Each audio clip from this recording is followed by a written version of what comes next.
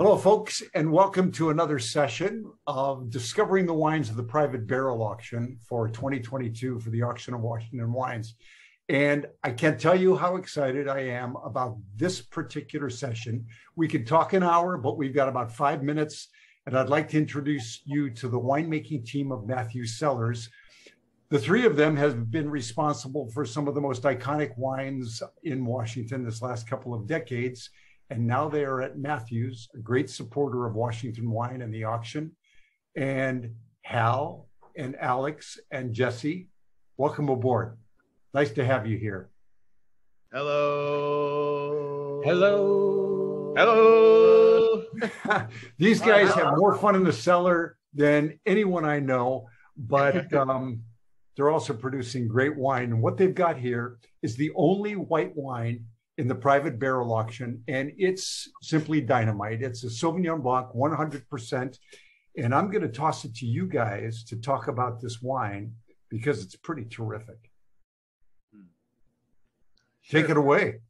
I, I, appreciate that. I mean, first and foremost, I'd just like to say um, it's an honor to be here talking with you. Um, it's you know previously where we came from, uh, we were kind of caretakers, stewards of of the brand, and um, didn't have a whole lot of uh, agency artistic license over the wines and so um, this new opportunity has presented itself where we can work with a um, wide range of or palette if you will of varietals and vineyards and um, people and to to curate our own relationships um, you know with with someone such as you bob a, a washington wine legend um, is pretty remarkable to be sitting here across from you at this point in our careers. Um, it is truly an honor. So thank you.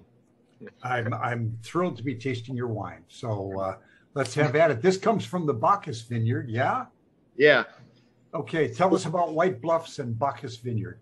Sure. So this is a uh, 2021 uh, Bacchus Vineyard Sauvignon Blanc from the White Bluffs AVA, newly appointed AVA in 2021. And doing um, some research, I don't want to sound robotic about the AVA, but uh, it's about 93,000 acres, um, of which only 1,100 are planted under vine. So it's a small postage stamp of an AVA. Um, it sits at an elevation of about 500, 500 to 900 feet. Um, right next to the Columbia, about 20 miles north of Tri Cities. And what's interesting and unique about this, I find, is that it uh, sits on this ancient um, lake bed of, of minerals. And so these vines um, don't touch any or interact with any basalt. I think that's pretty damn unusual for most vines in Washington state. I know that. Okay. Um, so yeah, it's it's very insulated by um, you know its elevation and by the Columbia. You can you know look across uh, Hanford effectively to Red Mountain and and the Rattlesnake Hills.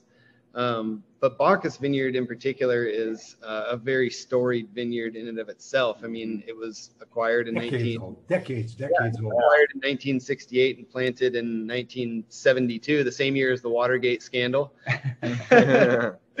Um, but these are, you know, some of the oldest vines in the state.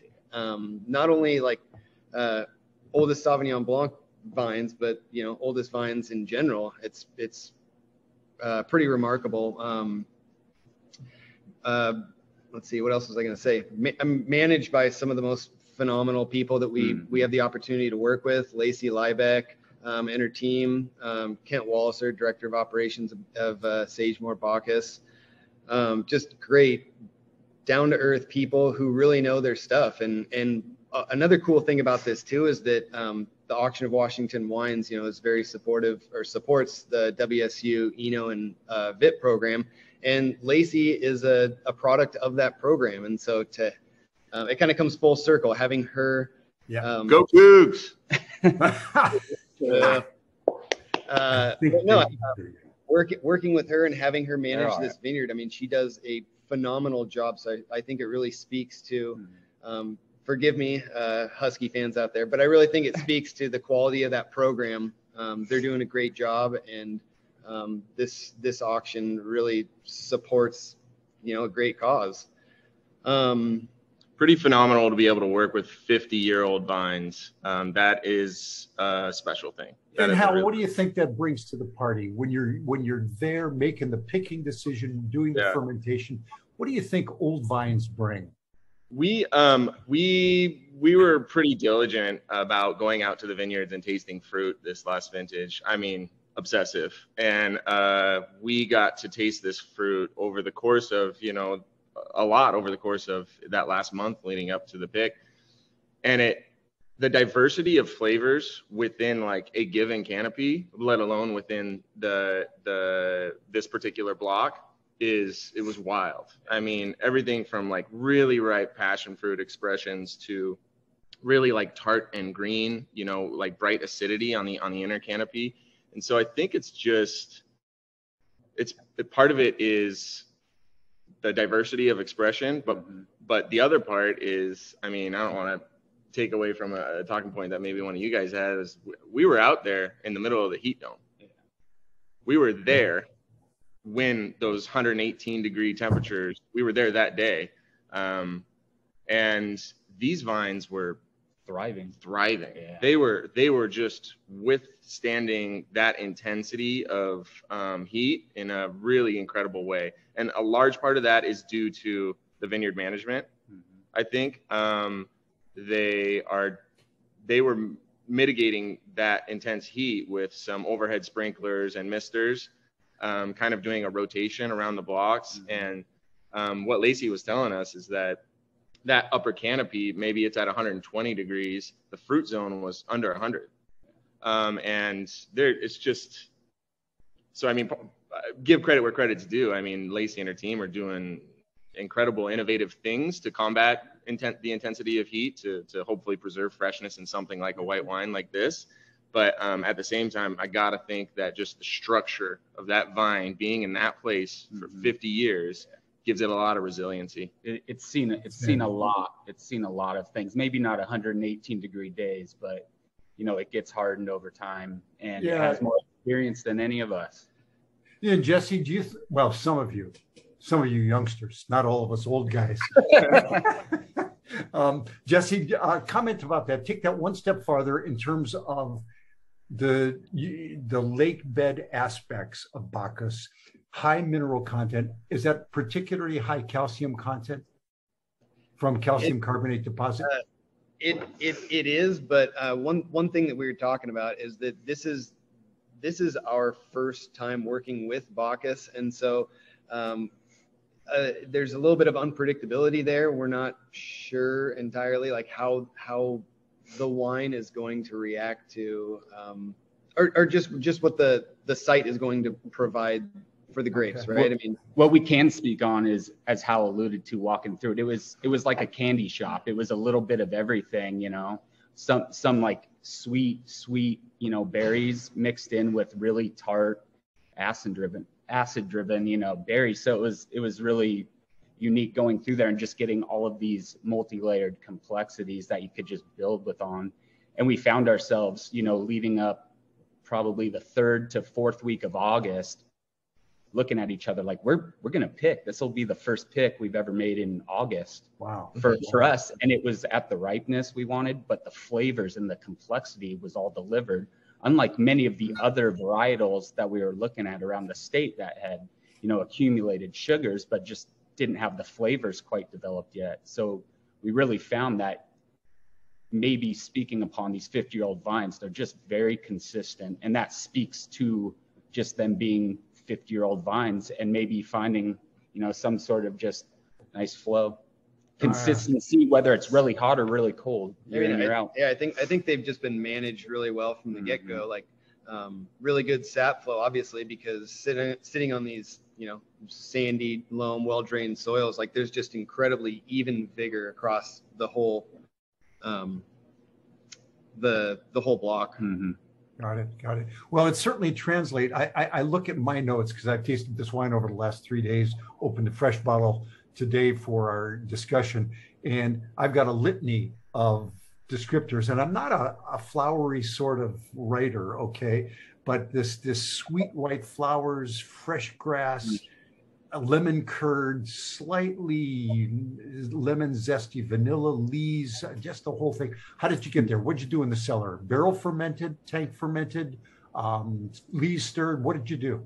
I'd I'd like to first start off with a cheers to you, Bob. I, I always I always like to cheers when we're drinking. I just want to cheers. Well, Um, I'm all the joking. people that came before us in Washington wine and paved the way for us. Uh, Um, thank you, thank you. It's, Excited it's an for honor. Your takes on our wine. That is incredible. We're beside ourselves right now. Uh, but, but I'm honored uh, to, that you're asked me to do this. So, so Mm. tell us how you got here. What did you do? Yeah, we can kind of tag team this. The Mhm. um, fruit fruit was harvested, handpicked. Um, as as you know, Sauvignon Blanc can develop some um, rot pressure if depending on how long you hang it in the vineyard. And so Lacey and her team did multiple uh, passes in the vineyard, just kind of clean passes. And so by the time we harvested this, by the time they harvested this, it was really clean fruit, beautiful fruit Right. coming into the bin. So we bring that in. Um, you know, we're we're whole cluster pressing it just just hours after it's picked. Um, doing a lot of CO2 blanketing um, as we're pressing it. I mean, I mean, really, really trying to decrease oxygen introduction from from the get go. Um, yeah.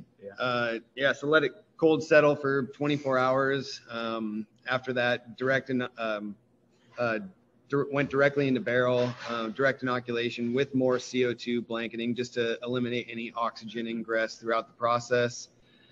Um, No SO2 addition. Uh, no, we Yeah, did. We, we did. did we a did. little You bit. did yeah. S. Okay. We at did. um at press in the pan, but super light press. Um, let's see, cold settle. Yeah. Um, Racked it, off the whole- the interesting one of the most unique things about this this wine in particular is that this was a s- we're carving off five five cases of um, wine from four individual uh, cigar barrels 265 liter hermitage cigar barrels uh, thick stave bertrange oak uh, made famous for, by Dagueneau a light toast. Yes. super light, super light toast. Um, and so, you know, that, that ended up, um, creates more surface contact, surface to volume, surface area to volume, lees contact. And so throughout the ferment, you know, we're, we're stirring the lees. Um, it was a low and slow ferment, about 30 days, um, stirring frequently during ferment and after. Mhm. Um, no malo, so you know, preserving that tension on the on the wine. we in in balance with that lee stirring, you know, building up the texture and the weight and the body of the wine by having that acid play in balance was was at the forefront of our attention. You know, I, I, I'm glad you used the word. I love the word tension because as I drink this wine, you don't notice the acid, you notice the tension. And to me, there's a difference between acidity, high acidity, and tension. Tension is balanced acidity.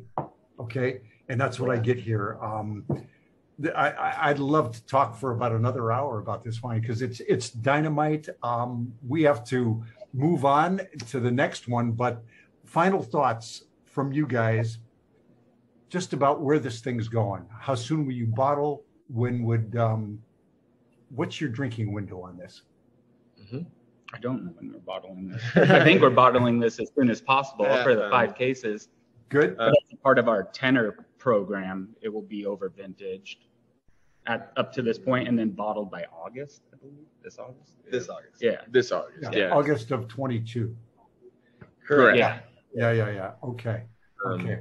Outstanding. Um, congratulations. It's it's a thrill to have you on here. It's a thrill to have you in Woodinville. This is obviously my home and and it's great to have you guys here. We thank Matthews. We wish them the best of success with you guys. And folks, as you take a look at the auction lots, don't miss the single white wine that's that's up for auction at the uh, auction of Washington Wines private barrel auction. All the funds, like the guys mentioned earlier, go directly to the future of Washington winemaking by supporting WSU, the Wine Science Center, the research that's done there.